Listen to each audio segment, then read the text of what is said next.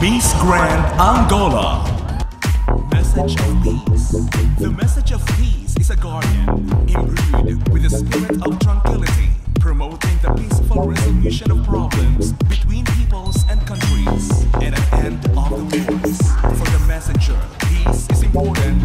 It connects people and bring harmony to the world. A world at peace, a world of happiness, and together we can be better and prosper.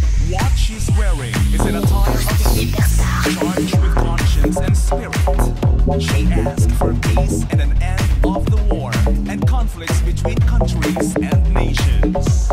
Miss Grand Angola. Miss Grand Angola.